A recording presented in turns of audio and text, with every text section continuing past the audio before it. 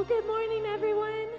Uh, go ahead and find your seats and uh, stand with us as we sing uh, Go Tell It on the Mountain. I'm so excited about doing some Christmas songs together. And this part of this song, um, it says, it talks about the shepherds, and I just can't imagine that moment when the shepherds received the news of the promise fulfilled that Jesus had come. And it just reminds me that Jesus, our Lord, He fulfills His promises. And we can trust um, in that every moment, even in the middle of difficulties. So uh, I just pray that He'll give us boldness to continue to tell others of, of who He is, His goodness, and that we can trust in Him in that way. So let's sing this song together. Go tell it on the mountain. Go tell it on the mountain, over the hills and everywhere. Oh, go tell it on the mountain that Jesus Christ is born. While shepherds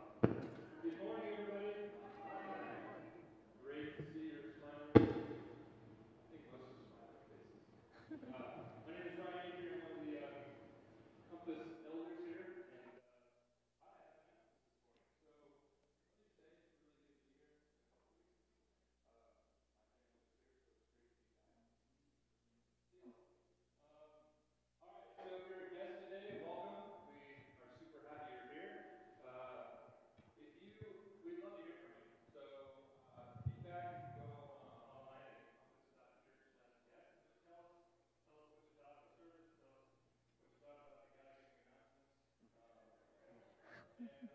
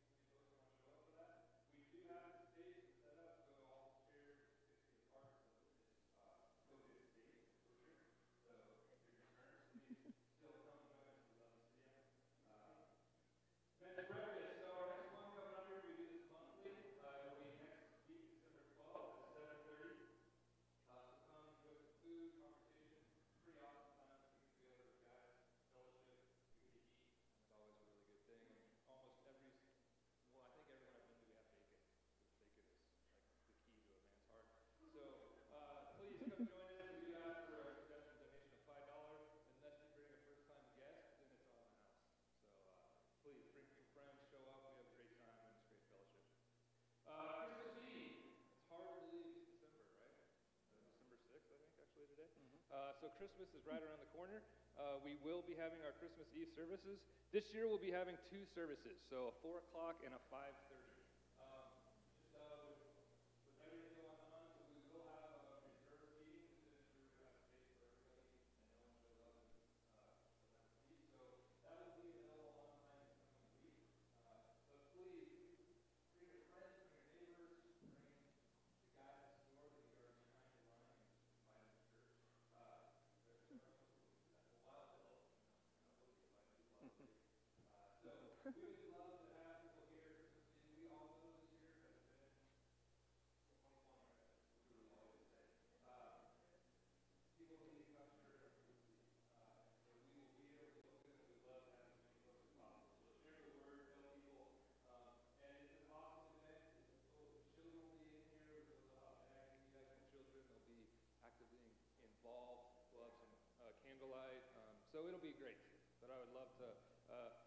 everybody invite somebody, and uh, let's get this place packed.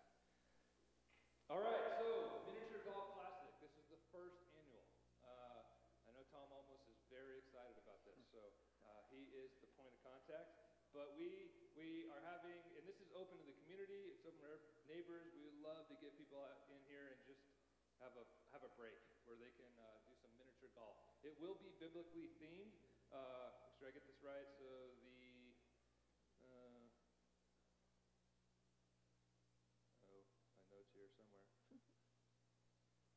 oh well, I can't remember. Anyway, the first nine holes will be the New Testament or the Old Testament. Probably would make sense it's the New Testament because it's the front nine, but I can't be sure of that. Anyway, uh, so it'll be New Testament, Old Testament, and uh, you can do it as individuals or you can get together with your small groups uh, and get a group together, but they will be themed out. You can do whatever, anything from the Bible. Uh, Noah's Ark, uh, Jesus walking on water, but it's themed and it's just to get people out and get some activity that we have been lacking uh, recently. So that's going to be pretty awesome. That will be January 15th, and that will come quickly. So we do need uh, you to reach out and let Tom almost know wh- what hole you want to sponsor and kind of what your theme will be. Dana, where's Dana? There's Dana back here. Dana is awesome musician and uh, produces some CDs that are awesome with Christmas music. So we had them last year. This year we'll have them again. Uh, they'll be upstairs for sale, and you can stop by and grab those if you'd like. And uh, we have offering available if you uh, are a member and would like to give. This, uh, we have it at the baskets by the doors, and then you can go online since we're we're not uh, passing anything to take. So uh, you can go to encompass.church/give. Uh, it's pretty simple and easy, and once you do it, it's kind of all set up and pretty cool. So uh, that is all I have. I know, no round of applause. So let's pray. Dear Heavenly Father, Lord, we, we come to you this morning. We are so thankful to be here. Lord, uh, we wake up every morning, and here in Colorado, we have sunshine most of the time and blue skies, and it just screams your glory of who you are and your creation. And we are so thankful for what you do for us, Lord. May we not forget. Lord, may we not forget who you are, that you sit on the throne, that you are in control. May we share that light and hope that we have um, in a world that needs it more now than ever. Uh, may we, we represent you and uh, have that smile on our face because no matter where we're at or what's going on, Lord, we have you and we know that you have us. So we are thankful for that. I thank you for everyone here today, Lord. I ask that you just uh, watch over this message that we're about to hear from Pastor Kevin and uh, may it speak to every one of us uh, through the word, Lord, as you, you direct it for each and one, every one of us. It's in your name we pray. Amen. Would you stand as we sing this next song together? Oh, come, Emmanuel.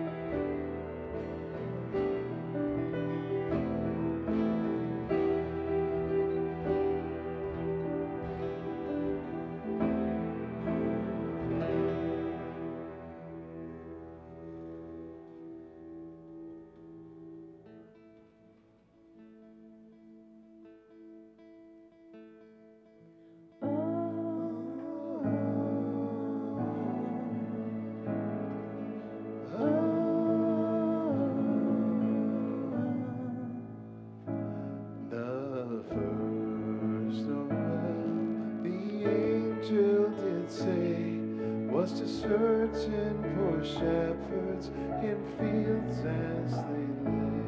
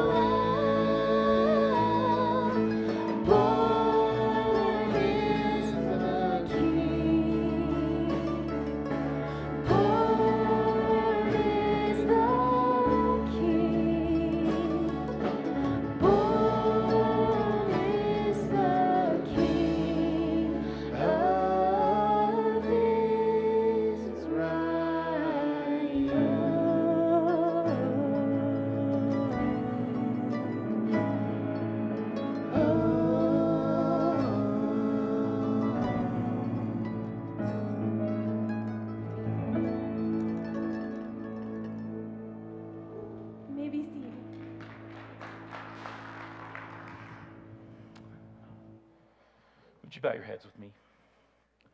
Father God, we are grateful for the opportunity to come and worship your Son. And as we enter into this Christmas season, I think this year most of us feel an extra need for a taste of your presence. And so as we explore your word, we pray that you will encourage us. The story is familiar, and yet there are so many elements to it that you use to form us into the kind of people that you want us to be. Do that this morning, we pray in Jesus' name. Amen. Good morning. It's good to be back with you today after several weeks off. Thank you to Stuart Stanton for covering for me for a couple of weeks.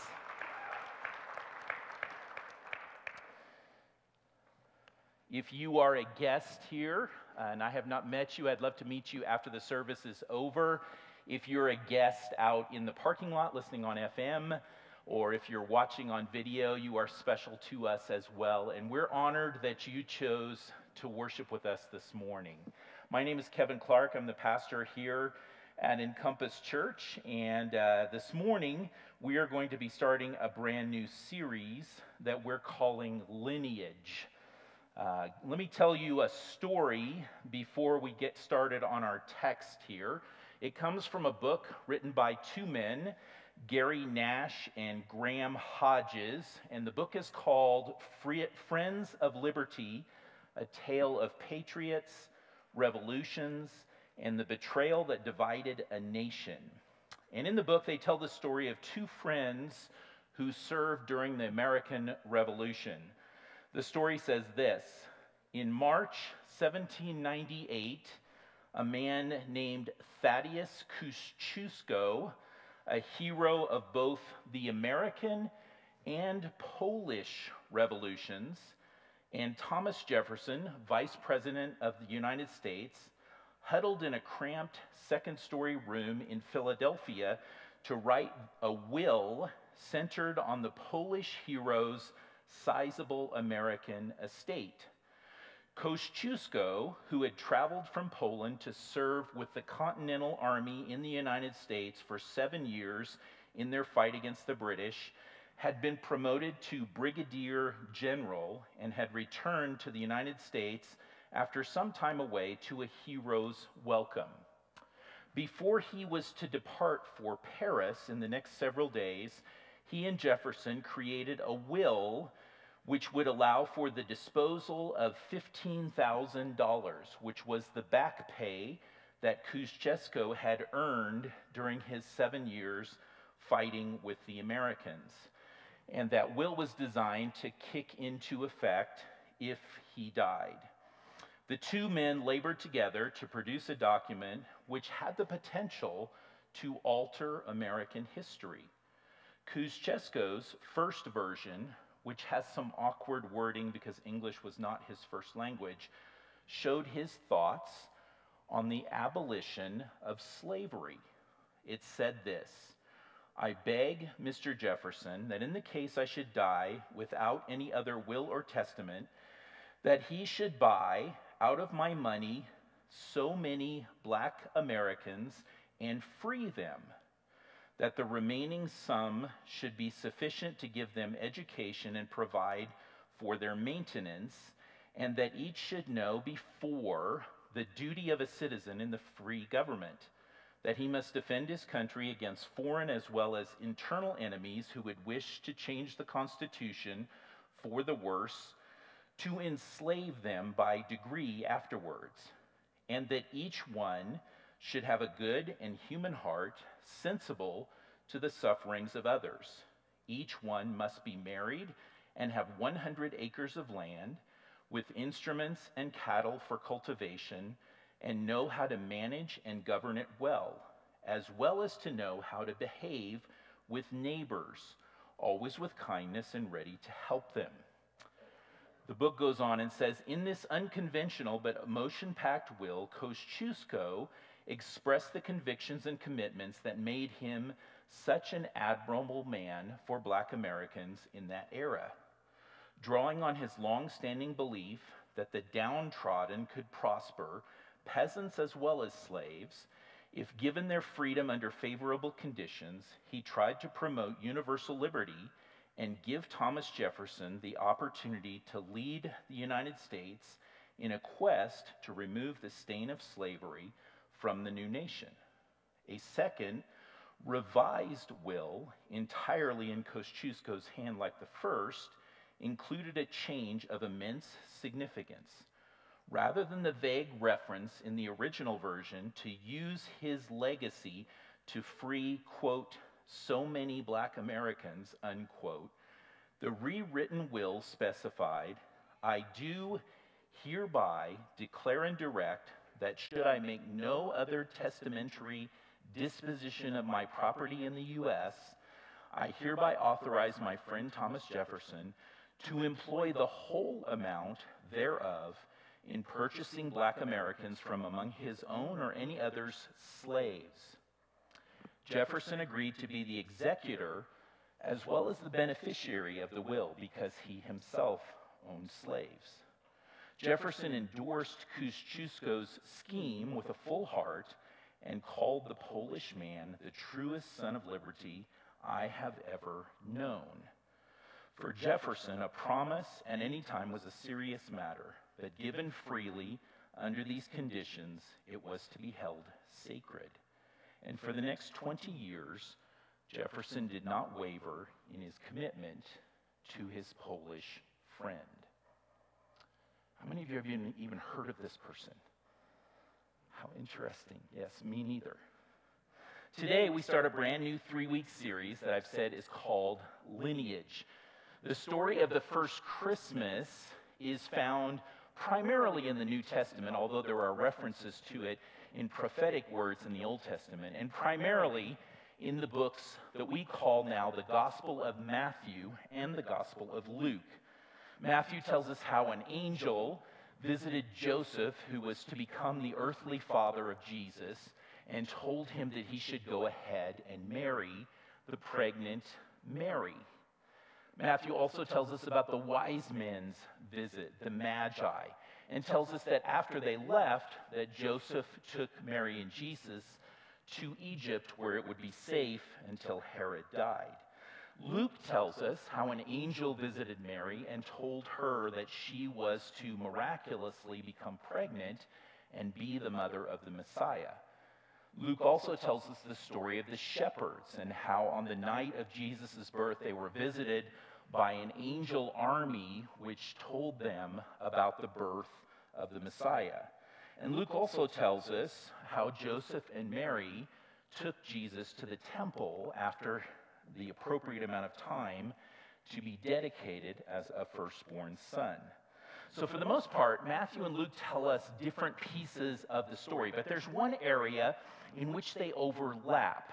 Each one of them gives us a genealogy, a list of the family line leading to the Messiah, Jesus Christ. Now, in most places, those two genealogies, well, in some places, those two genealogies line up perfectly. In other places, they do not. And so it is interesting to ask the question why, embedded in the Christmas story, in two places, do we find the family line of the Christ? Why were they included? Why are they different? And what do they tell us about Christmas? So, over the next several weeks, we're going to explore those questions. And today, I want to kick us off by reading the genealogy found in the Gospel of Matthew, chapter 1, verses 1 through 17. And I warn you ahead of time, it's a lot of names. It says this the book of the genealogy of Jesus Christ, the son of David, the son of Abraham. Abraham was the father of Isaac, and Isaac the father of Jacob, and Jacob the father of Judah and his brothers, and Judah the father of Perez and Zerah by Tamar, and Perez the father of Hezron, and Hezron the father of Ram, and Ram the father of Aminadab, and Aminadab the father of Nahshon, and Nahshon the father of Salmon. He's a Jewish man, he's not a fish. And Salmon, the father of Boaz, by Rahab. And Boaz, the father of Obed, by Ruth. And Obed, the father of Jesse. And Jesse, the father of David the king. And David was the father of Solomon, by the wife of Uriah. And Solomon, the father of Rehoboam. And Rehoboam, the father of Abijah and Abijah the father of Asaph, and Asaph the father of Jehoshaphat, and Jehoshaphat the father of Joram, and Joram the father of Uzziah, and Uzziah the father of Jotham, and Jotham the father of Ahaz, and Ahaz the father of Hezekiah, and Hezekiah the father of Manasseh, and Manasseh the father of Amos, and Amos the father of Josiah, and Josiah the father of Jeconiah and his brothers at the time of the deportation to Babylon. And no, we're not done. And after the deportation to Babylon, Jeconiah was the father of Shealtiel, and Shealtiel the father of Zerubbabel, and Zerubbabel the father of Abiud, and Abiud the father of Eliakim, and Eliakim the father of Azor, and Azor the father of Zadok, and Zadok the father of Achim, and Achim the father of Eliud, and Eliud the father of Eleazar, and Eleazar the father of Matthan, and Matthan the father of Jacob, and Jacob the father of Joseph, the husband of Mary, of whom Jesus was born, who is called Christ. So all. You're applauding, but you have no idea if I pronounced any of those names correctly. So, all the generations from Abraham to David were 14 generations. And from David to the deportation to Babylon, 14 generations. And from the deportation to Babylon to the Christ, 14 generations. So, Matthew gives us a list of 41 fathers and sons. And I know for a handful of you, uh, this was like a bad history class. You had flashbacks, you closed your eyes, you hoped it would go away. Um, and so I'm sorry if I did that to you, but stick with me because this, I think, is worth it. The question is why did Matthew, and Luke also includes a list like this, why did Matthew include this in his gospel? In Matthew's case, he wrote this gospel to convince his fellow Jews, brothers and sisters, in faith that Jesus was their promised, long awaited Messiah. Now, the Jews knew from Scripture that the Messiah would come from the line of Abraham and from the royal house, and the, or the line rather, of King David. So, how did they know that? Well, in Genesis, God tells Abram, who is later renamed Abraham, that he's going to bless him. It says this in Genesis chapter 12, 1 through 3. Now the Lord said to Abram, Go from your country and your kindred and your father's house to the land that I will show you. And I will make of you a great nation, and I will bless you and make your name great, so that you will be a blessing. I will bless those who bless you, and him who dishonors you I will curse. And in you all the families of the earth shall be blessed. So God says to Abram, Go to the land I'm going to show you, and I am going to bless you. But not only you, through you, all families on earth will be blessed. Now, the Jews did the math and realized really the only way that that could happen would be that that was a reference to the Messiah that has been promised to us, and that he would be the one who did the blessing of the whole world. Pardon me. So he had to come from Abraham's line. But he also had to come from King David's line because we find in 2 Samuel chapter 7 verse 16 that Nathan the prophet speaks from God to David and says this to David, "And your house and your kingdom shall be made sure forever before me. Your throne shall be established forever." So God promised David that someone from his line would be on the throne forever. The only way that could happen is if the Messiah himself was being referenced here, who will be on the throne forever. The only way that could happen would be if the Messiah came from David's line. So Matthew begins his book intended to show Jews that Jesus is the Messiah with a genealogy that shows that Jesus descended from the people they all knew he would have to descend from if he was the actual Messiah. He descended from Abraham and David. Now, we could spend weeks on going through all the names in the list, and we do not have time for that. So, in this short series, I want to focus on some people who would have captured the attention of the original Jewish readers, people they would not expect to see in the list. I want to focus specifically on the women who are listed in the genealogy. Now, the ancient Jews recorded a lot of genealogies. If you flip through not just the New Testament, but if you flip through the Old Testament, you find all kinds of long term and short term genealogical lists. But one thing you will notice is that most of the names are men. The only time you really see a woman's name listed is when there is a specific and important reason to mention her name. Matthew had important reasons for mentioning the names of the women in his list. Who were those women? Well, there were five of them. The first is Tamar. Her twins were fathered by Judah. The second is Rahab.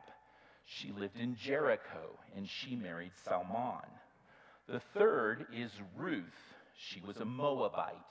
She came and lived in Bethlehem and married Boaz. The fourth in Matthew's list is only described as the wife of Uriah.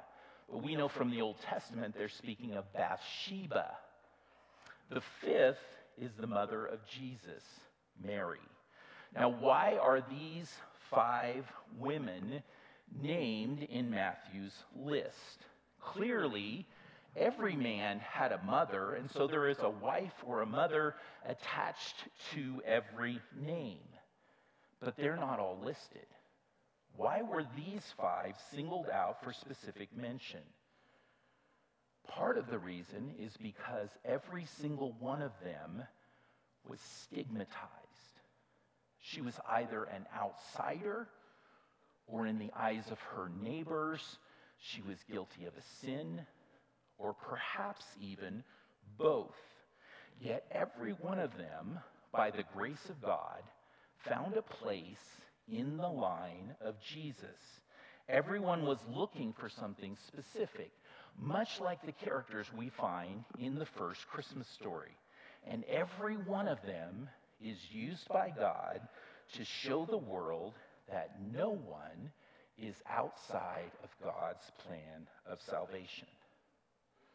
Now, last year, we spent four weeks going through the story of Ruth, and we tied her story to the Christmas story. So we won't be spending time on Ruth in this particular series. And we will touch on Mary each week as she fits into the original Christmas story. So that leaves us with three remaining names Tamar, Rahab, and Bathsheba.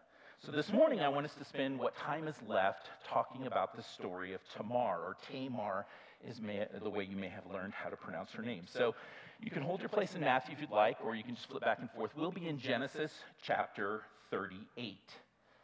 Now, Genesis chapter 38 tells us the story of a man named Judah. He was one of the 12 sons of Jacob, the original founders of the 12 tribes of Israel. And Judah also plays a prominent role in the line of Jesus. But in the prior chapter, in chapter 37, we find out that Judah's character was not that stellar. He led his brothers to sell his younger brother into slavery. Now, that was to save him from death, so that was admirable, but the act of selling him to slavery and then telling their father that Joseph was dead uh, shows that he was capable of great deception and of thinking primarily of his own needs over the needs of those who were his family. But then we transition into chapter 38, and the story changes very dramatically. Here we just find out about Judah himself in isolation with his own immediate family. We find out that Judah married a foreigner, a Canaanite woman. We're never told her name that I could discover in Scripture, but she is referred to as the daughter of Shua. Now, when Shua's daughter and Judah married, they had three sons. And hopefully I'm pronouncing this right, but you won't know. So their names are Ur, Onan, and Shelah. When I read that list, I thought it's the, the first name makes it sound like I'm trying to think of the other two. Ur, Onan, and Shelah. But that's not the case. That was his name. Um, it is very clear from Scripture that Judah's act of marrying a Canaanite woman was not the best plan. We know that his great grandfather Abraham did not want his grandfather Isaac to marry a Canaanite. And so the idea of marrying outside of your faith was something that was not looked highly upon. But for Judah, apparently he really wasn't all that worried about that. Now, when Judah's oldest son, Ur, reached marriageable age, Judah found him a wife, a woman named Tamar. Now, scripture doesn't explicitly say if she was a member of their extended, large clan or if she was a foreigner, a Canaanite, an outsider to their family. Now, first century Jewish commentaries and those that came over the next several hundred years after that say that Tamar was part of the what would then become the Jewish line. And so she was part of the extended family. But I actually think that she probably wasn't. And I'll tell you why in a moment. Scripture tells us, chapter 38, that Ur was evil. Genesis says that the Lord put Ur to death. So enter the second son, Onan. Now, in the ancient world, if a man who was married died childless, the cultural tradition would be for the next brother in line to marry that woman and father a son, a single son, who would belong to the dead brother. And that son would then inherit any kind of estate that the dead brother was entitled to receive. And that custom actually became part of later part of Mosaic law, but it was also popular within the other cultures around where the Jews lived and their nation eventually formed. So when Ur died, Judah gave Er's wife Tamar to Onan. So Onan could father a child who would carry on Er's name and have his estate. But Onan wasn't stupid. He knew that Ur was the firstborn. He got a double portion of the father's estate. And so if he did not father a child who would take that inheritance, then that inheritance, along with his own inheritance, would all come to him. So chapter 38 tells us that he cleverly did not make it possible for Tamar to get pregnant. And scripture says that this selfish act was also wicked in God's eyes. And so the Lord put Onan to death too. Now, knowing that his third son, Shelah, was now obligated to marry Tamar and father a son for his firstborn, Judah was alarmed. The other two husbands had died, and he was not sure why that had happened. And so Judah sent Tamar back to her father's house with the idea that she would wait to marry Shelah when he was older. Tamar waited a long time. Look at Genesis chapter 38, beginning in verse 12. It says, In the course of time, that's an expression that means a long period, the wife of Judah, Shua's daughter, died. When Judah was comforted, he went up to Timnah to his sheep shearers, he and his friend Hira the Adullamite. And when Tamar was told, Your father in law is going to Timnah to shear his sheep, she took off her widow's garments and covered herself with a veil, wrapping herself up, and sat at the entrance to Enaim, which is on the road to Timnah. For she saw that Shelah was grown up and she had not been given to him in marriage. When Judah saw her, he thought she was a prostitute, for she had covered her face. So Tamar had been sitting at home at her father's house, which was obviously a distance away from Judah and his clan, waiting for Judah to fulfill his promise and allow her to marry Shelah. And she waited for a long time, perhaps years, and nothing happened. Shelah grew up. She knew that. She knew he was old enough to be married, and nothing had changed. Then came the day that Tamar heard that Judah himself would be in the neighborhood. And so she changed her clothes out of the clothing which identified her as a widow, wrapped her face in a veil, which was a convention that temple prostitutes often used, and sat by the road, knowing that dressed that way, Judah would assume that she was for hire, and she was right. Now, when you and I read that story, don't you have kind of a creepy feeling?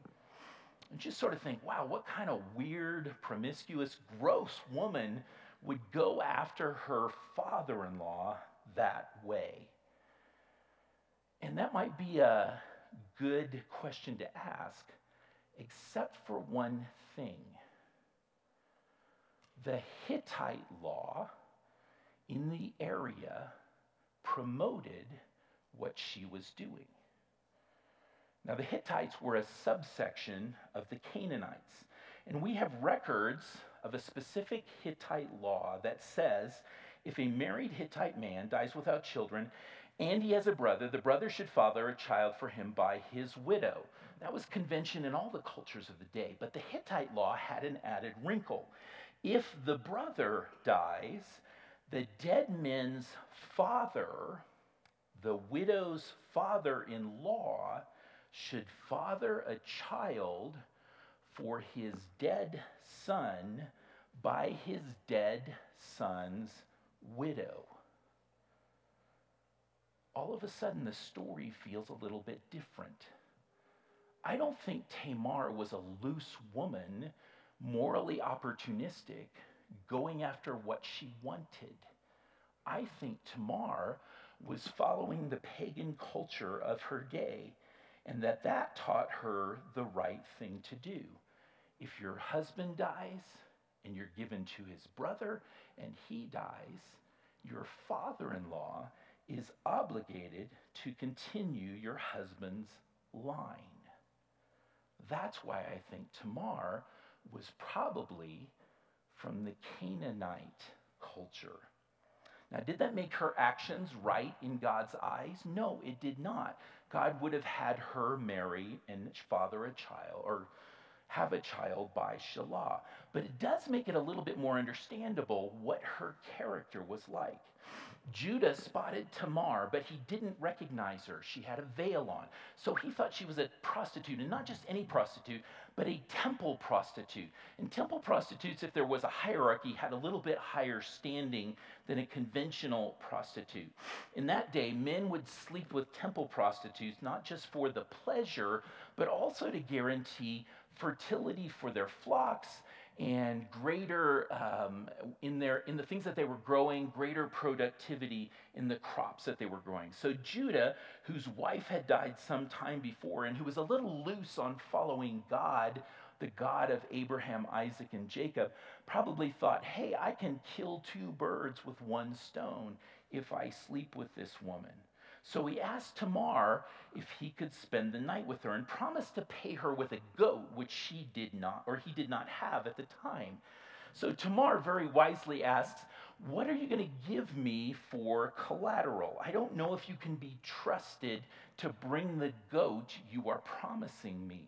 Now remember that Judah had promised to marry her to his third son, Shelah, and that had not happened.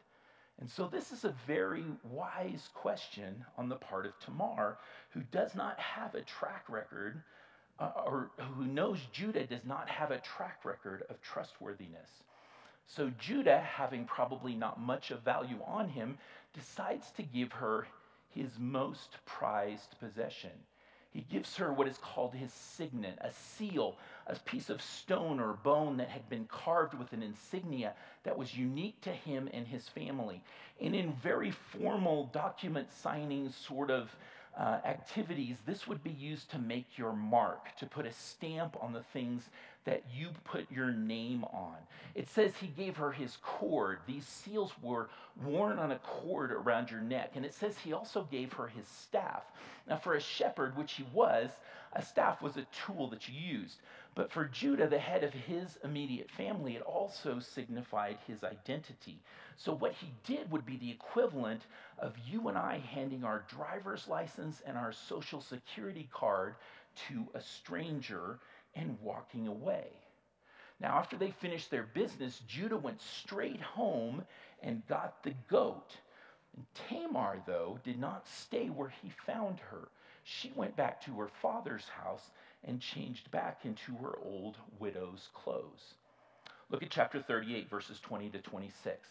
It says, When Judah sent the young goat by his friend the Adullamite, because he didn't want to take it himself, to take back the pledge from the woman's hand, he did not find her.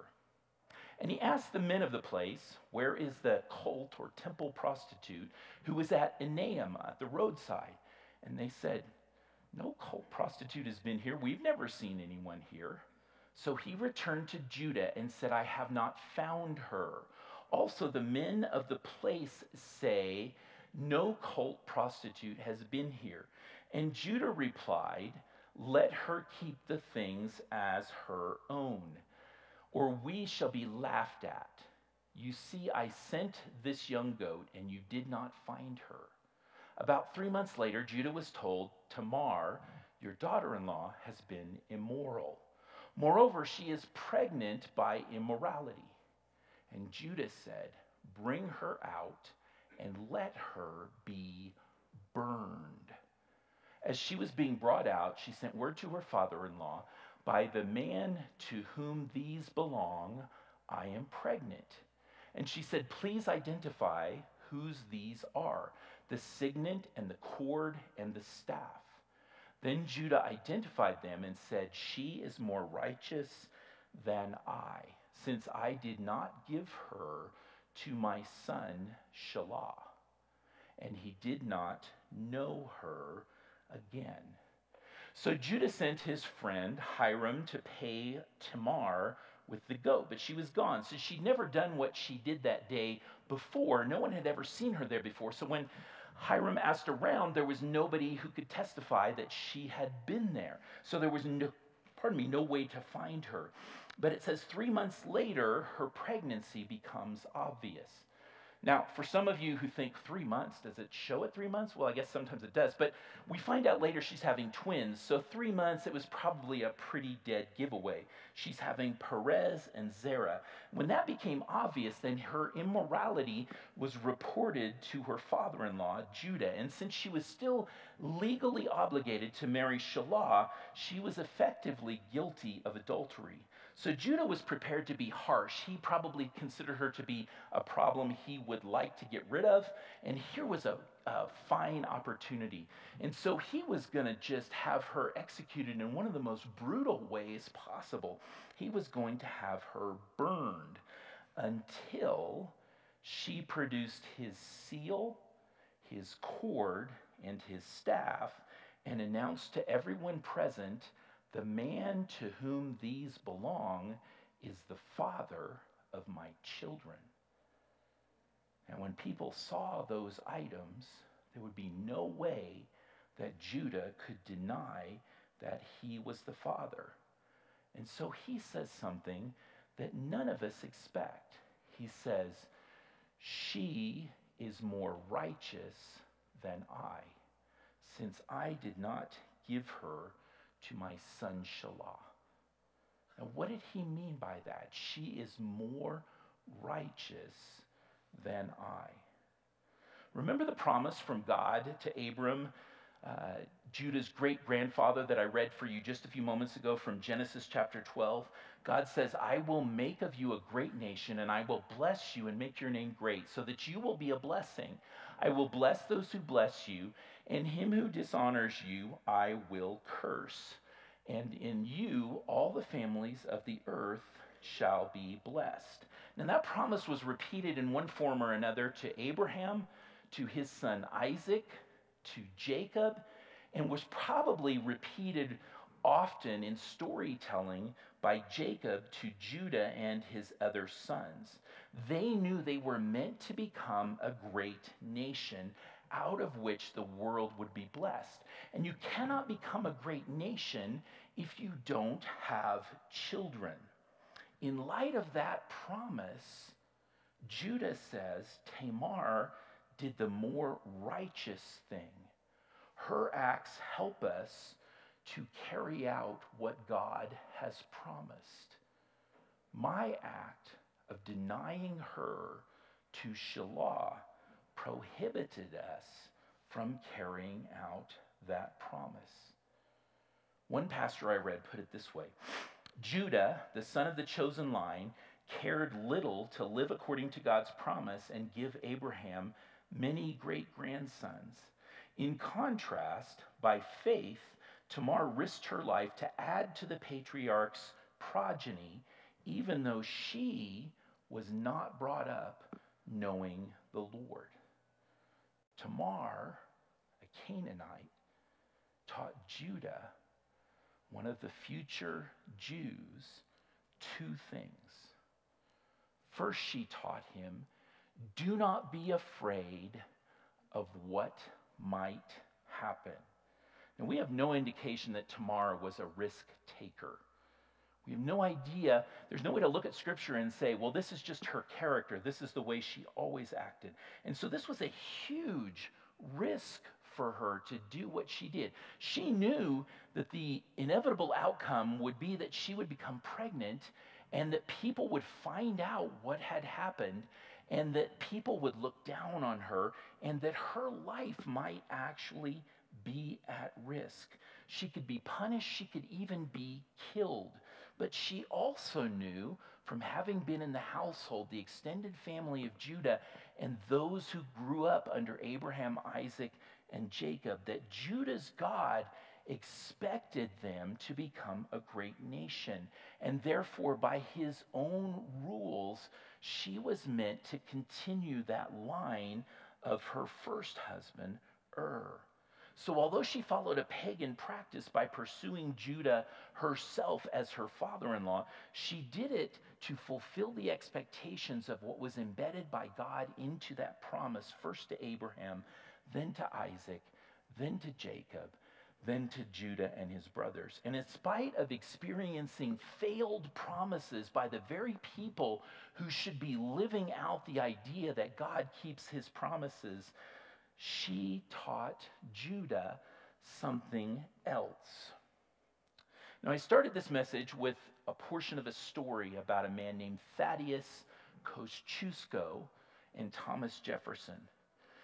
Thaddeus, the friend of Thomas Jefferson, whose will instructed Jefferson to use his money to free as many slaves as possible, died on October 15, 1817. After several years of going back and forth, Jefferson finally withdrew from his pact with Kosciuszko by pleading in a Virginia court in Charlottesville that he could not serve as executor of his friend's estate and would not use his money to free his own slaves. A hundred years later, an abolitionist named William Lloyd Garrison would say this What an all conquering influence might have accompanied Jefferson's illustrious example if he had taken the lead to abolish slavery. One other historian wrote the object of Kosciuszko's will was lost. Had Jefferson felt stronger about the object, he might have ventured the experiment despite obstacles and the shortness of years, for the experiment of freeing the slaves was one he often commended to others, and indeed one he may himself have first suggested to Kosciuszko. Often in this life, people we know and we trust fail to keep big promises. Jefferson failed to keep his promise to Kosciuszko. And for all we know, that might have been life altering for hundreds of thousands of American slaves. Judah failed to keep his promise to Tamar. And for her, that was life altering. But she knew that even though people weren't keeping their promises, that the God she had been told about in her extended family was not like the people who didn't keep their promises. So, by pursuing a course of action that showed faith in God's promise, she taught Judah to believe the promises of God. Regardless of how misguided we might think her methods were by our modern estimation, she acted in keeping with the belief that Judah's God would keep his promises, bless the line of Abraham, and that in the end, the entire world would be blessed. And in her case, she actually got to be in the line of the Messiah. Now, how does that fit with the Christmas story? Well, like Judah, there's a person in the first Christmas story who needed to hear the things that Tamar discovered. That person was Joseph, the man called to be the earthly father of the Messiah, Jesus Christ. Joseph found himself in a terrible predicament, and based on what Scripture says, he was afraid. You can flip all the way back to Matthew, where we started this morning, and look at chapter 1, verses 18 and 19. It says, Now the birth of Jesus Christ took place in this way. When his mother Mary had been betrothed to Joseph, before they came together, she was found to be with child.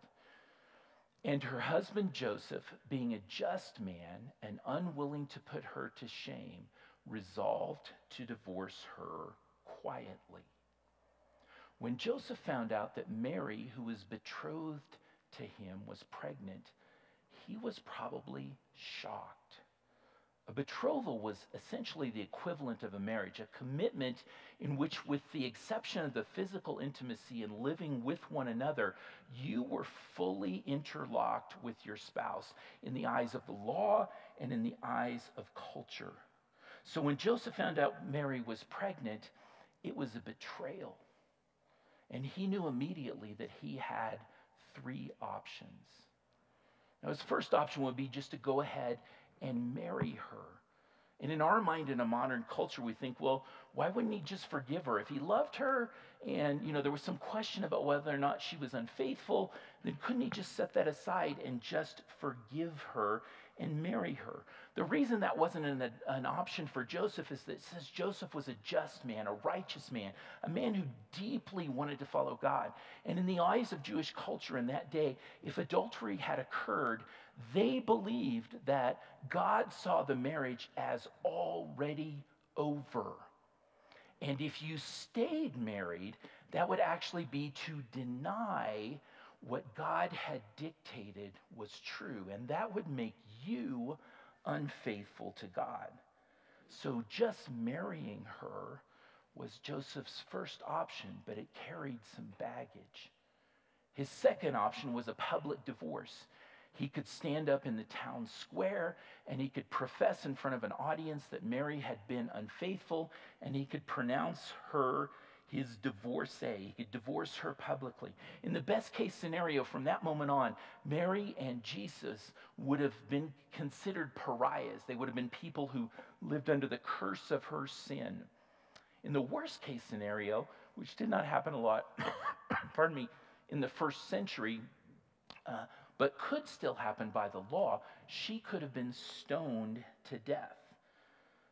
Joseph, if he was godly, would recognize that this was the best option to protect his integrity, to separate himself from her sin.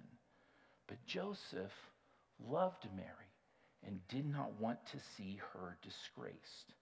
So he was left with a third option, what we would consider to be a private divorce. He could call two official witnesses to his home, but it would not be done in public. And there he would say that he was divorcing Mary without making an accusation. And without an accusation, the townspeople, the courts could not act to punish Mary. But the problem is, a private divorce always carried a hint that perhaps Joseph was the father after all, and that he was trying to duck out and sneak away from the responsibility for his own sin. A private divorce meant that he would also be viewed with suspicion for the rest of his life. His reputation was at stake, and he had done nothing wrong. The life Joseph had planned for Mary and himself in his mind was over, and he was afraid. But then an angel appeared to Joseph in a dream. Look at Matthew 1, verses 20 and 21. It says, But as he considered these things, which option to use, behold, an angel of the Lord appeared to him in a dream, saying, Joseph, son of David, do not fear to take Mary as your wife, for that which is conceived in her is from the Holy Spirit. She will bear a son, and you shall call his name Jesus, for he will save his people from their sins. Tamar, by her example, taught Judah not to fear what might happen. An angel came to Joseph to tell him not to fear what might happen. Tamar, by her example, showed the people around her that she believed in the promise that God gave Abraham.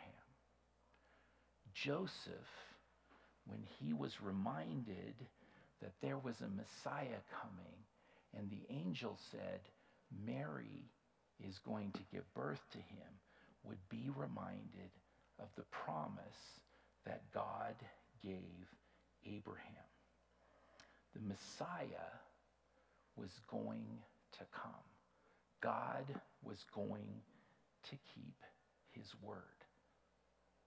We see that all the way back in Tamar and Judah's time and in the time of Mary and Joseph.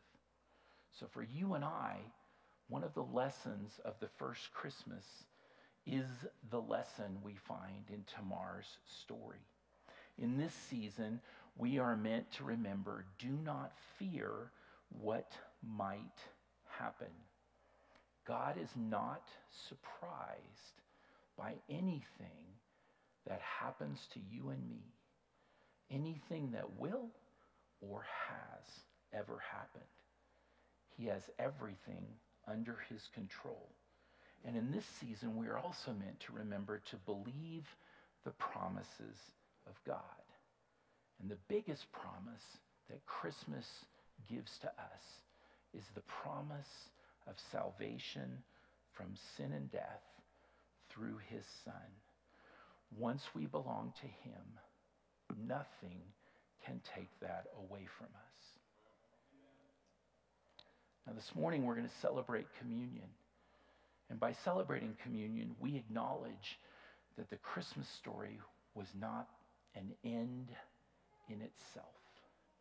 It was the beginning of the opportunity for you and I to enter into a relationship with the same God who made a promise to Abraham and to each person in that line leading up to Jesus Christ. On the night before he was crucified, Jesus met with his disciples in an upper room to celebrate the Passover feast. Knowing what was coming, he spoke words they had never heard before in the middle of that Passover celebration. I'm going to ask you right now to go ahead, if you have not picked up a cup, you can make your way to the back of the room and pick up one of those small cups. You will find the bread in the top under the clear cellophane, and you can peel that off and take the bread out. And then there's some purple foil underneath that that you can open for the juice when we come to that point. Paul tells us in his account of the Last Supper For I received from the Lord what I also delivered to you that the Lord Jesus, on the night when he was betrayed, took bread, and when he had given thanks, he broke it and said, This is my body, which is for you. Do this in remembrance of me. Let's eat the bread together.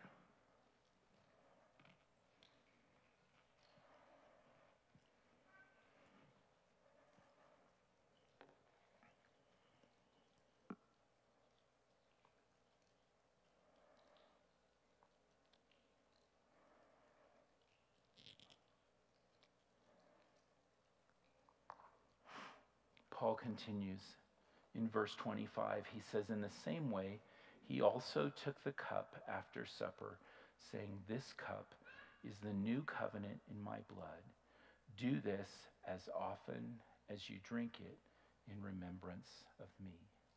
Let's drink together. Now, Paul says something at the end of this passage that we don't always read, but I think it fits very well on this morning into the story that we have been investigating. Paul says, For as often as you eat this bread and drink this cup, you proclaim the Lord's death until he comes. In this season, you and I do a lot of things to proclaim the Lord's birth, his first arrival. But by doing that, we are meant to remind ourselves and those who don't know that there was far more to the promise than the fact that the Messiah would arrive as a child and be laid in a manger in Bethlehem. The promise was way bigger than that. The promise is that he would take care of our sin, that he would pay the price, which would enable us to be forgiven and to enter into a relationship with the God who made the promise all those years ago. I pray that in this season that you'll be reminded not only of his birth, but of what came next. And that like Tamar and like Joseph, you will not fear and you will believe the promises. Would you bow your heads with me? Father God, we thank you for your word. We thank you even for strange things like lists of who fathered who that go on seemingly forever. And yet, God, when we look closer in your word, we realize that you put every single word in Scripture for a reason. And we're reminded that you were working way back then to move your plan forward. That people like people sitting in this room who thought they were just everyday folks were playing a role in a story that would lead to blessing for all the families of the earth. God, only you could pull that off. And so, as we look forward to celebrating the birth of your Son, may we be reminded of the promises of what came next. May we live in such a way that we point other people to those promises too. We ask these things in Jesus' name. Amen. Would you stand with us as we sing our final song together?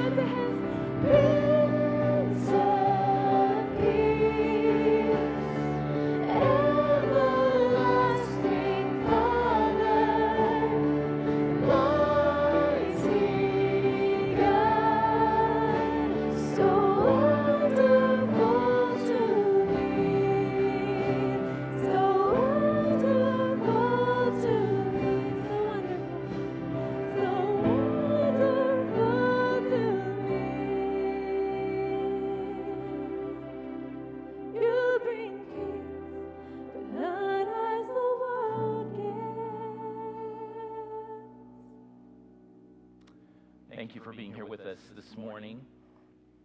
We invite you to stick around for our uh, new adult Bible community, which will be in this room right over here. We call that the dining room sometimes.